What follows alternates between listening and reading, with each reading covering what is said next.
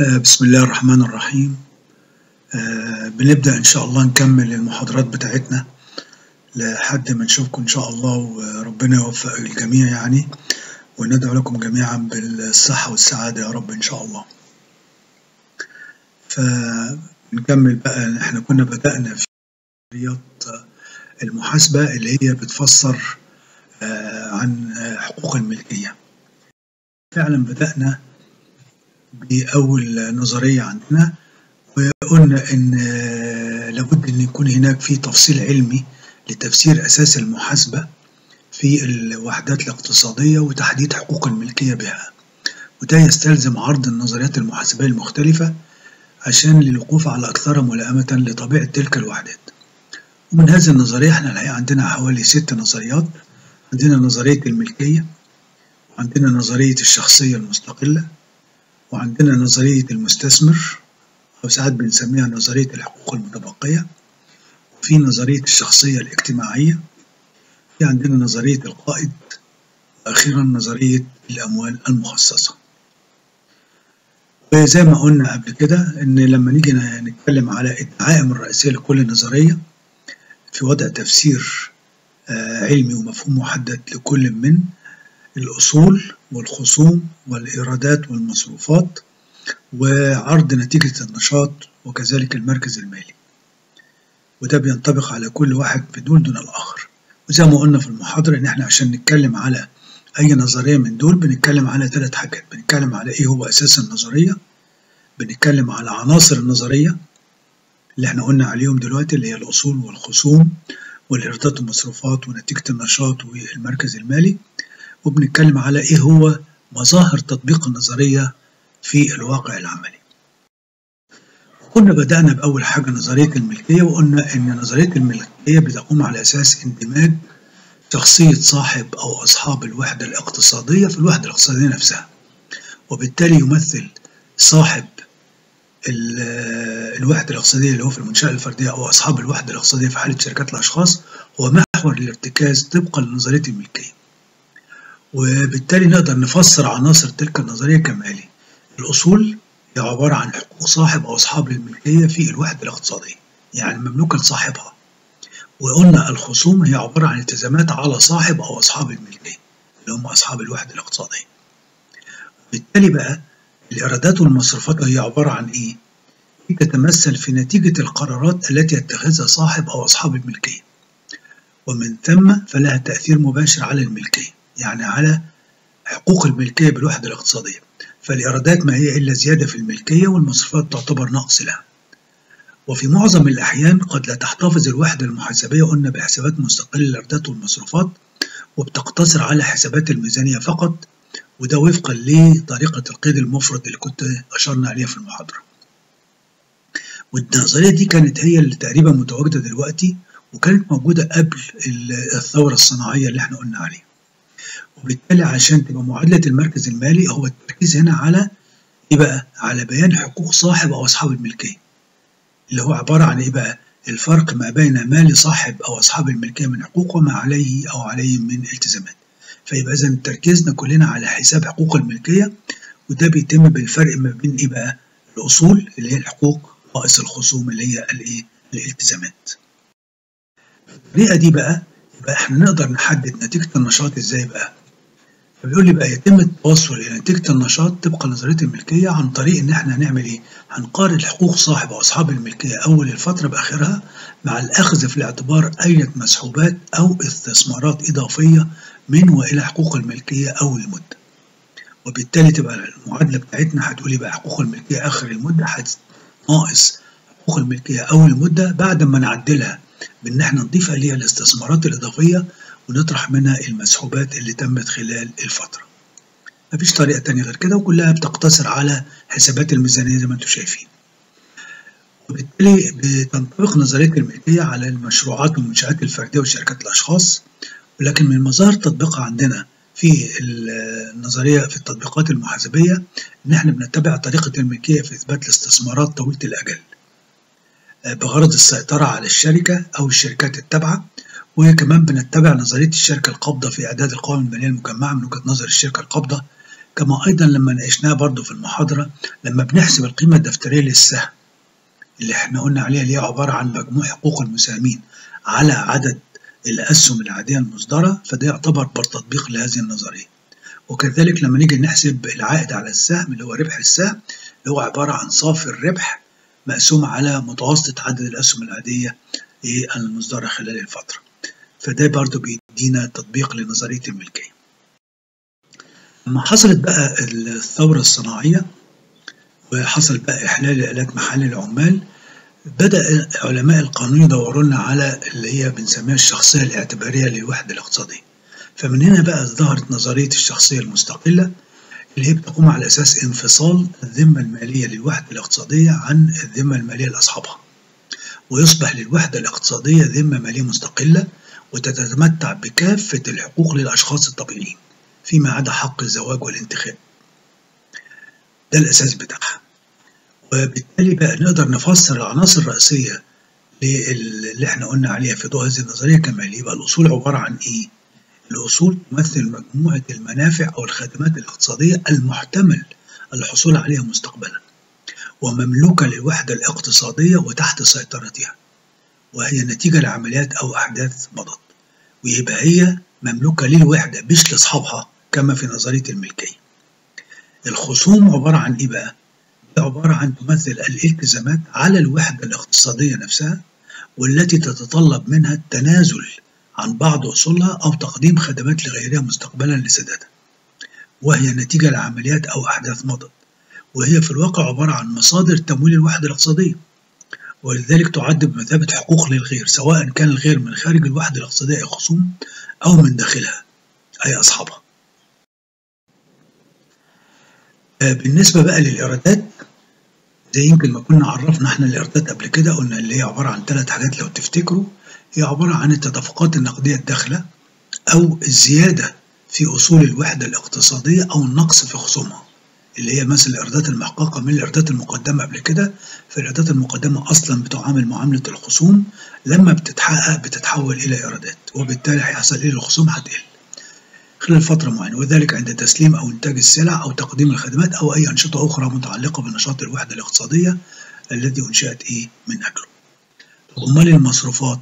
المصروفات زي ما قلنا برضو قبل كده هي العكس على طول وهي عبارة عن التدفقات النقدية الخارجة أو النقص في أصول الوحدة الاقتصادية أو الزيادة في خصومها التي تمثل تكلفة السلع والخدمات المستخدمة واللازمة للحصول على إيرادات الوحدة الاقتصادية خلال الفترة. يبقى بالتالي نقدر نحدد نتيجة النشاط بقى بسهولة بإن إحنا يتم التواصل نتيجة نشاط الوحدة الاقتصادية عن طريق مقابلة الإيرادات بالمصروفات اللي هي عبارة عن حسابات اسمية أو وهمية أو مؤقتة للمصروفات والإيرادات كما يلي يبقى عبارة عن صافي نتيجة النشاط هتساوي الإيرادات ناقص المصروفات ومن هنا بدأ الاهتمام بقائمة الدخل يعني في الفترة اللي قبل كده كان الاهتمام على قائمة المركز المالي اللي هي في نظرية الملكية دلوقتي بقى الاهتمام بقائمة الدخل عشان نعرف إيه أسباب تحقيق الأرباح أو الخسائر. الربح طبعا هو النتيجة المجابة للمقابلة السابقة أما الخسارة فهي النتيجة السالبة. معادلة المركز المالي دلوقتي بقت عبارة عن يمكن التعبير عن المركز المالي الوحدة الاقتصادية في ضوء نظرية الشخصية المستقلة بالمعادلة الآتية الأصول تساوي الحقوق. هذه الحقوق قد تكون حقوق للغير اللي إحنا بنسميها الخصوم وقد تكون حقوق للملاك اللي هي عبارة عن حقوق الملكية. بس هي بتيجي طبعا الملكية بعد الإيه؟ بعد الخصوم. وبتمثل طبعا شركات الأموال أنواعها بقى الشركات المساهمة وشركات التوصية بالأسهم وشركات ذات المسؤولية المحدودة التطبيق الشائع لنظرية الشخصية المستقلة أو الاعتبارية وإن كان طبعا من الممكن استخدامها على أي وحدة اقتصادية يتحقق فيها باستمرار انفصال الذمة المالية لها عن الذمة المالية؟ لأصحابها.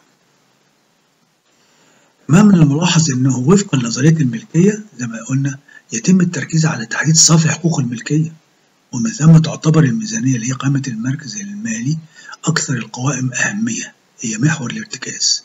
بينما تركز نظرية الشخصية المستقلة على قياس صافي نتيجة النشاط الوحدة الاقتصادية ومن ثم تعتبر قائمة الدخل هي الأكثر إيه أهمية.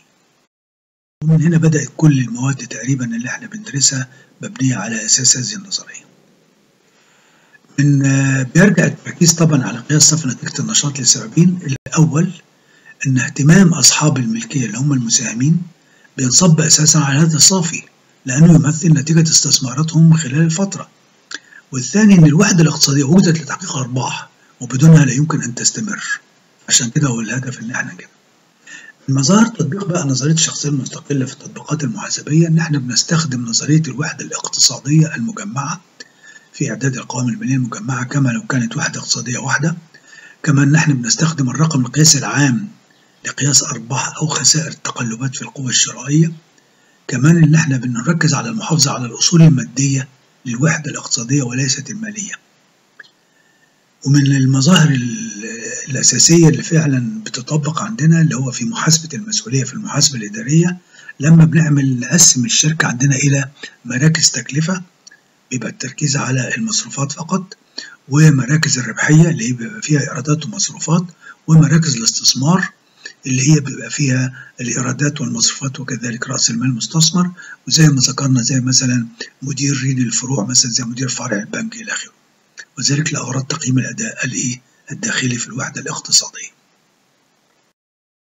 بعد كده بقى جات لنا نظرية المستثمر اللي هي بتركز على الحقوق المتبقية.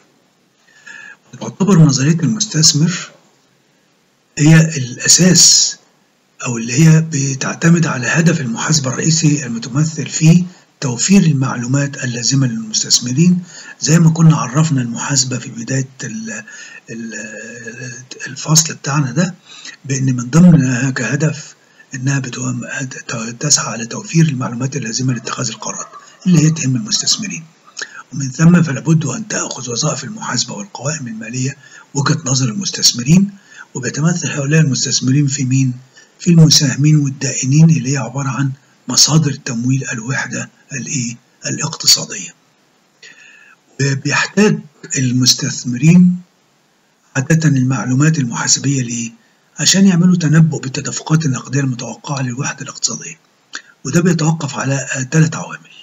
أول عامل على مقدرة الوحدة الاقتصادية في توفير النقدية اللازمة لمقابلة مدفوعاتها النقدية مستقبلا. ثاني حاجة على رغبة الوحدة الاقتصادية في رد أموال المستثمرين بها. ثالث حاجة عندنا اللي هي الأولوية القانونية عند رد ديون المستثمرين وزي ما إحنا عارفين هم اللي هم إذا كانوا في شكل ديون أو خصوم هم بياخدوا أولا طبعا. ومن الملاحظ أن نظرية المستثمر في الواقع بتجمع بين كلا من نظريتي الملكية والشخصية المستقلة الوحدة الاقتصادية ولا تختلف عن عناصرها عن عناصر نظرية الشخصية المستقلة إلا عند بيان كل من نتيجة استثمارات المساهمين من أصحاب الأسهم العادية باعتبارهم المستثمر الرئيسي وكذلك عند بيان معادلة المركز المالي وذلك كما يلي. لما بنيجي بقى نتيجة النشاط بتاعة الوحدة الاقتصادية فهذه النظرية بتوضح نتيجة النشاط لمختلف المستثمرين على النحو التالي. أول حاجة ناخد الإيرادات ناقص المصروفات هيطلع لنا صافي نتيجة النشاط. مين بقى اللي بيساهم في النتيجة دي؟ أول حاجة الدولة بتاخد الضرائب الداخلية اللي عليه. هتدينا صافي أرباح المستثمرين. هنطرح منها الفوائد المدينة للمقرضين ده أول ناس مصدر بيهمه يعرف. هيدينا أرباح المساهمين اللي هم من نوعين الأسهم المعروفين. نطرح الأول حصص أرباح الأسهم الممتازة يبقى الباقي ده صافي أرباح الأسهم العادية. يبقى المستثمرين في الشركة دول اللي هم عبارة عن المقرضين بياخدوا الفوائد المدينة الأسهم الممتازة بتاخد أرباح قبل الأسهم العادية وأخيرا الأسهم الإيه العادية. آه معادلة المركز المالي بقى كده بتركز على إيه بقى؟ بيان الحقوق المتبقية للمساهمين من أصحاب الأسهم العادية كما يلي. يبقى أنا عشان أطلع أصحاب حقوق أصحاب الأسهم العادية اللي إحنا عارفين إن الأصول هتساوي الحقوق الممتازة زائد الحقوق المتبقية للأسهم العادية. يبقى إذا الحقوق المتبقية للأسهم العادية هتساوي إيه؟ هتساوي أصول الوحدة الاقتصادية ناقص الحقوق الممتازة. طب والحقوق الممتازة دي لمين؟ تشمل بقى كل من حقوق الدائنين بأنواعهم وحقوق المساهمين من أصحاب الأسهم الإيه؟ الممتازة. ومن مظاهر بقى نظرية المستثمر في التطبيقات المحاسبية اللي إحنا بنعملها تكوين المخصصات اللازمة لمواجهة الالتزامات المتوقعة مستقبلا وتكوين احتياطي. سداد السندات وكمان حساب معدل عائد الاستثمار اللي كنت قلت لكم عليه قبل كده. إن إحنا بنقسم صافي الربح بنضيف عليه الفوائد على رأس المال المستثمر اللي هو عبارة عن حقوق الملكية زائد الإيه؟ الخصوم طويلة الاجل بس طبعا زي ما قلنا بناخد متوسطة طبعا. وعشان إحنا بقى نتمرن على النظرية دي زي ما شفنا في التبويب اللي فات ده عايز منكم تحلوا التمرين رقم اللي هو 31 صفحة 79 وده يديكم فكرة ولو في أي أسئلة معاكم الإيميل ممكن تبعتوا لي. نيجي بعد كده لنظريه الشخصية الاجتماعية للوحدة الاقتصادية. النظرية دي بقى تعرف أيضا بنظرية المنشأة وتقوم هذه النظرية على أساس إيه؟ أن الوحدة الاقتصادية منشأة اجتماعية بتعمل من أجل تحقيق أهداف أصحاب المصالح من وراء إنشاء تلك المنشأة. مين هما بقى أصحاب المصالح اللي في الوحدة الاقتصادية؟ الملاك طبعا والدائنين والعاملين والمستهلكين والوحدات الإدارية الحكومية والجمهور والمجتمع بصفة عامة. ولذلك تتمشى هذه النظرية مع النظرية الاجتماعية للمحاسبة التي تقوم على أساس إيه؟ انصهار شخصية الوحدة الاقتصادية واندماجها مع المتعاملين معها بما فيهم المجتمع إيه نفسه طيب إزاي إحنا بقى هنطلع حقوق الناس دي كلها؟ فبيقول إيه وحيث أن الوحدة الاقتصادية تعتبر بمثابة منشأة اجتماعية فلابد من تقييم أدائها على أساس مخرجاتها التي تمثل مساهمتها في المجتمع. وفي هذه الحالة بقى يعد مفهوم القيمة المضافة أكثر تعبيرا عن مساهمة الوحدة الاقتصادية في المجتمع. ولذلك تعتمد هذه النظرية على تحديد القيمة المضافة للوحدة الاقتصادية خلال فترة معينة. على اعتبار أنها تقيس أداء كل المشاركين في الوحدة الاقتصادية من عاملين وممولين سواء كانوا مساهمين أو دائنين ووحدات إدارية حكومية الذين يتعاونون لزيادة تلك القيمة المضافة وبالتالي زيادة أنصبتهم من الوحدة الإيه؟ الاقتصادية. وزي ما إحنا عارفين لو أي مستثمر بيعمل دراسة جدوى وعشان يقدر يقنع الجهات الحكومية لقبول المشروع بتاعه مش بيقول إن هحقق ربح قد إيه؟ لأ. بيقول إن أنا هعمل قيمة مضافة قد إيه؟ هيدفع طبعا أجور قد إيه؟ هيدفع إيجارات قد إيه؟ هيدفع فوائد قد إيه؟ هيدفع ضرائب قد إيه؟ بالتالي يبقى يبقى هيوزع أرباح قد إيه طبعا للمساهمين يبقى بالتالي هو بيتكلم في الواقع على عناصر القيمة المضافة مش بس بيركز على صافي الربح. ولذلك تمثل القيمة المضافة للوحدة الاقتصادية إزاي نقيسها بقى؟ اللي ممكن تاخد إجمالي السلع والخدمات المقدمة منها بسعر السوق اللي هي عبارة عن مثلا إيراد المبيعات مخصوما منها ما يعرف بالاستهلاك الوسيط اللي هو إيه الاستهلاك الوسيط؟ عبارة عن جميع السلع والخدمات المستخدمة والمحولة من وحدات اقتصادية أخرى أي السلع والخدمات إيه؟ الوسيط اللي الشركة أو الوحدة الاقتصادية ملهاش فضل فيها ده هي الشريحة هي بتكمل عليها بقى وطبعا المثال المعروف اللي هو لما بنيجي نبدأ إحنا بقى بالقطن مثلا مع المزارع الدخل بتاع المزارع من القطن طبعا لو نخصم منه بقى البذور والأسمدة والمياه اللي بيستخدمها يبقى هو دي القيمة اللي ضافها القطن ده بقى مثلا بيروح لشركات الغزل مثلا يبقى هم خدوا القطن ده مش بتاعهم. هيخصموه طبعا زائد الحاجات التانية إذا كان في ألوان أو أصباغ أو كده يبقى هي دي القيمة المضافة. الخيوط ده هتروح لشركات النسيج هتاخد الخيوط يبقى هي ملهاش فضل فيه هتزود عليه لحد ما يبقى قماش. هيبقى هي الفرق دوت هو اللي ضافته القماش ده هيروح بقى مثلا المصانع اللي هي بتصنع الملابس والحاجات دي كلها. هيخصموا طبعا ثمن الأقمشة والخيوط الحاجات اللي هم استخدموها يبقى الفرق هو ده اللي هم ضافوه. يمكن حساب أيضا القيمة المضافة للوحدة الاقتصادية بس بطريقة أخرى عن طريق إن إحنا نعمل إيه؟ نجمع عوائد عوامل الإنتاج والممثلة في الأرباح الموزعة للمساهمين والفوائد المدفوعة والمستحقة للدائنين وأجور العاملين وإيجارات المباني والضرائب الحكومية والأرباح المحتجزة لتدعيم المركز المالي وكمان لمقابلة التجديدات والتوسعات في أصول أو في حجم الوحدة الاقتصادية. وإذا كان إعداد قائمة الدخل بيعتمد على تبويب المصروفات إلى الأجور والمواد والمصروفات اللي إحنا عارفين اللي هو التبويب الوظيفي فالقيمة المضافة بتعتمد على بيان عوائد عوامل الإنتاج وذلك كما يتضح من المثال التالي. آه عندنا قائمة الدخل اللي إحنا عارفينها عندنا إيراد مبيعات مثلا 1000 عندنا المصروفات التشغيلية أجور ومواد ومصروفات خدمية وإهلاكات وإيجارات. بنطرح من المبيعات يديك صافي الربح قبل الفوائد والضرائب.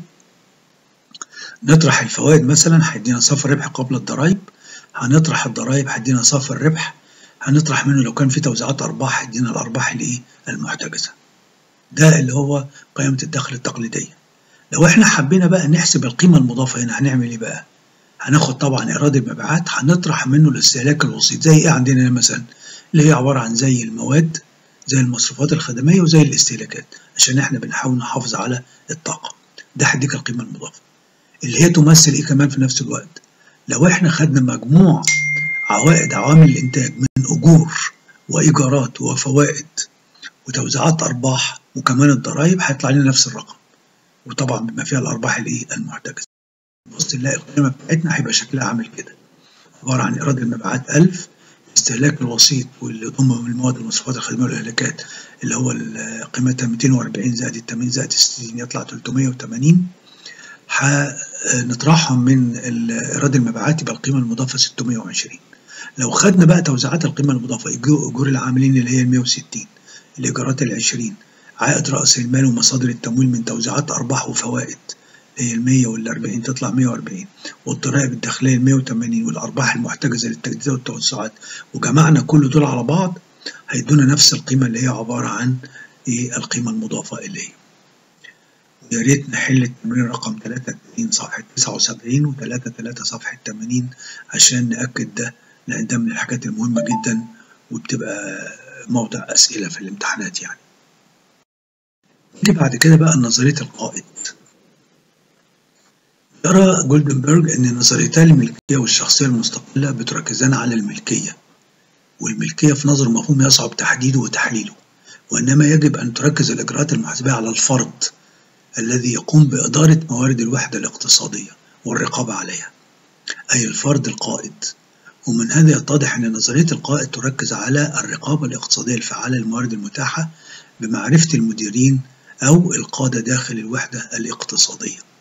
ولذلك حاليا إحنا عندنا الاهتمام باللي إحنا بنقول عليه رأس المال الفكري. إنك أنت مش بس بتهتم بقى بال بالأصول والحاجات بتاعتك لا الأفراد دول اللي ليهم أفكار وكده. لازم ده هيدي قيمة للشركة.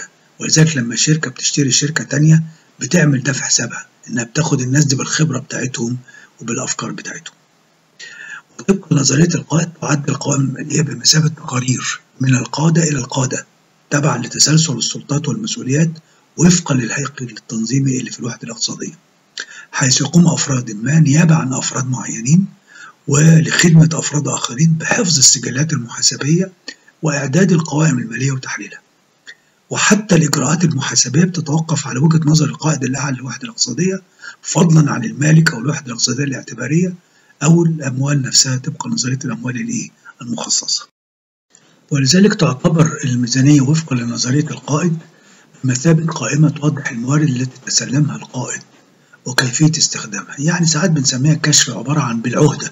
اللي تسلمها القائد في بداية الفترة وإزاي استخدمها ولذلك هي عبارة عن تقرير يبين المسؤولية المحاسبية عن الموارد المتاحة والمقدمة في صورة أمانة أو عهدة إلى المديرين والقادة داخل الوحدة الإيه؟ الاقتصادية. أما قائمة الدخل فهي أنها تعبر عن إيه بقى؟ عن نتائج أنشطة ومجهودات وقرات هؤلاء الإداريون والقادة خلال فترة معينة.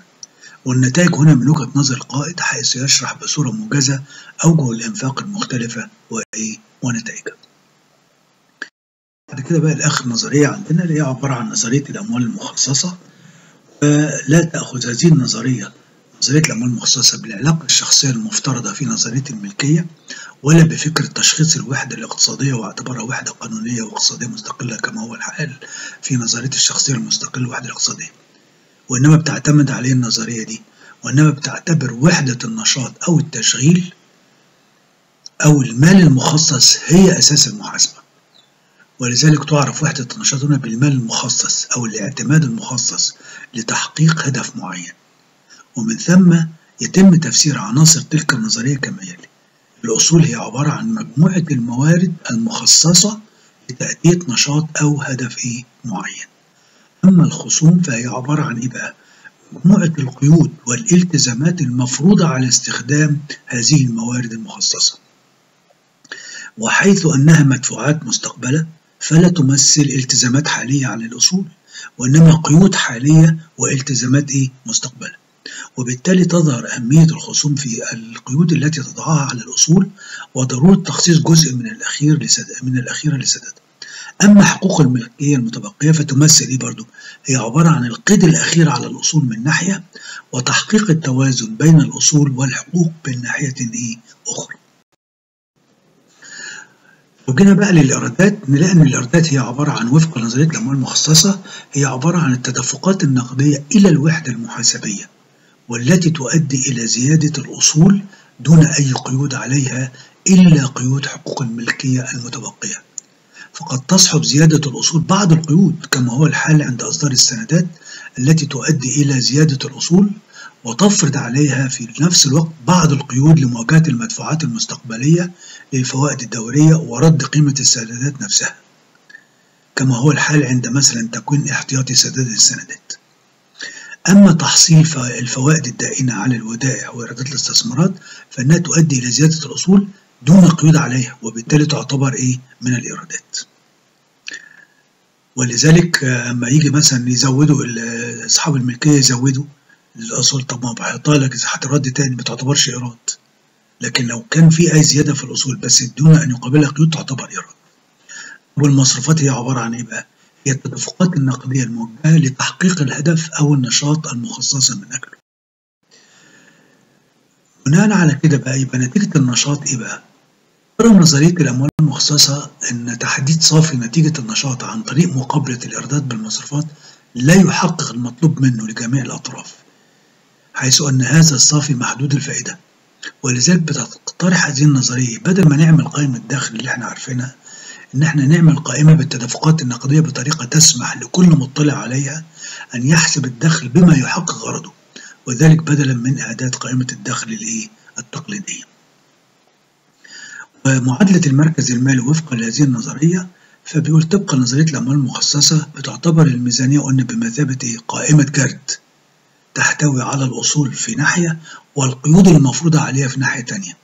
وبتختلف طرق التبويب بالميزانية وأسس التقييم المتبعة تبعا للغرض من إعدادها فتبويب الميزانية لأغراض فحص الائتمان وتقييم المقدرة على السداد تختلف طبعا عن تلك المعادلة المساهمين وتقييم الربحية.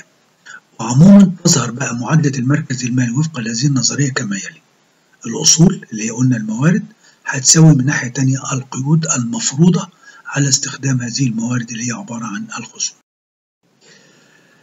وبيتضح مما سبق أن نظرية الأموال المخصصة تتفق إلى حد كبير مع طبيعة الوحدات الإدارية الحكومية. ومن ثم تعتبر أكثر النظريات ملائمة لتفسير أساس المحاسبة في الوحدات الإدارية الحكومية وكذلك الوحدات التي لا تتخذ تحقيق الأرباح هدفا لها وذلك لما يلي. واحد تلتزم الوحدات الإدارية الحكومية بالصرف في حدود الاعتمادات المقررة والموافق عليها من قبل السلطة التشريعية ولا يجوز تعدي الصرف لتلك الحدود إلا بعد اتباع الإجراءات القانونية المنصوص عليها. ويمثل ذلك القيود المفروضة على تلك الوحدات عند استخدام الموارد المتاحة وده معروف إن إحنا ما نقدرش نصرف أكتر من الإيه البند المخصص. إن لا يجوز الصرف من الاعتماد إلا للغرض أو النشاط الذي خصص من أجله وزي ما إحنا عارفين في المحاسبة الحكومية ما ينفعش تنقل من باب لباب أو من بند لبند إلا بعد الموافقة لأنه ما ينفعش تصرف إلا في الغرض اللي هو اتخصص من اجله. كمان ضمن الحاجات إن عندنا بتقوم بعض الوحدات الاداريه الحكوميه بالصرف فقط. كما في وزارة الدفاع. يعني ما ينفعش تعمل قائمة دخل يبقى ده ما بتحقق خسارة. بعضها بيقوم بالصرف مع تحصيل بعض الموارد بس مثل وزارة التعليم العالي. بس الإيرادات ما تقابلش المصروفات. ده دي حاجة رمزية. والبعض الآخر يقوم بالتحصيل بينما يمثل الصرف نسبة ضئيلة كما في حالة وزارة المالية. ومن ثم فلا مجال هنا لمقابلة الإيه؟ الإيرادات بالمصروفات حيث أن إيرادات الدولة ككل تقابل مصروفات الدولة ككل فيما يعرف باسم موازنة الدولة. بالإضافة لأن هذه الوحدات الإدارية الحكومية تهدف إلى تقديم خدمات عامة ولا تعمل من أجل تحقيق أرباح. وبالتالي عدم وجود قائمة مركز بالوحدات الإدارية الحكومية على نمط قوائم المراكز المالية للوحدات الاقتصادية. ومن ثم فلا مجال للمشكلات المحاسبية الخاصة بتقييم الأصول والخصوم. وإن كان هناك في اتجاه الآن بأن إحنا نحول الموازنة الدولة من الأساس النقدي إلى أساس الاستحقاق حتى يمكن استخدام نفس المؤشرات اللي إحنا بنستخدمها في الوحدات الاقتصادية لتقييم أداء الوحدات الإدارية الايه آه ولا يقتصر تطبيق نظرية الأموال المخصصة على الوحدات الإدارية الحكومية فقط بل من الممكن الأخذ بمفهومها في المحاسبة المالية للوحدات الاقتصادية وذلك عند تكوين مثلا الاحتياطيات لغرض معين مثل احتياطي يستثمر في سندات حكومية واحتياطي سداد السندات وكذلك عند تبويب الأصول والخصوم إلى متداولة وثابتة أو قصيرة الأجل وطويلة الأجل ومن ثم تحقيق المقابلة بين مصادر تمويل الوحدة الاقتصادية الخصوم وأوجه استخدامها. يعني المصادر الطويلة المفروض تروح لاستخدامات طويلة والقصيرة تروح لاستخدامات إيه؟ قصيرة. ودي كانت آخر حاجة عندنا في النظريات وبنتمنى لكم جميعا التوفيق. وبالصحة والسعادة ونراكم جميعا على خير. والسلام عليكم ورحمة الله وبركاته. وآخر دعوانا أن الحمد لله رب العالمين وبالله التوفيق. والسلام عليكم ورحمة الله وبركاته.